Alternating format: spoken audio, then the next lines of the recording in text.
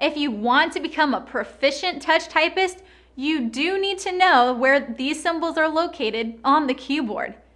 That's what you'll learn next. As you touch type symbols, it's important to use the same finger as you do when typing the respective numbers. When typing a symbol, remember that you have to press and hold down the appropriate shift key with the other hand before pressing the symbol key.